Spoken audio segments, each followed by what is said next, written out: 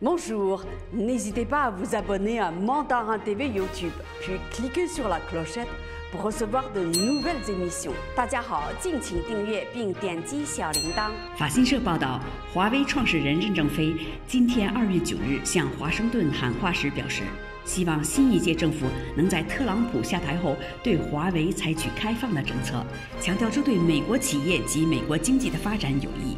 任正非说：“我们依然希望能购买大量的美国材料、元件和设备，让大家都能分享中国的增长红利。”甘纳利斯研究公司透露二零二零年华为的手机全球销售量下降了百分之二十二。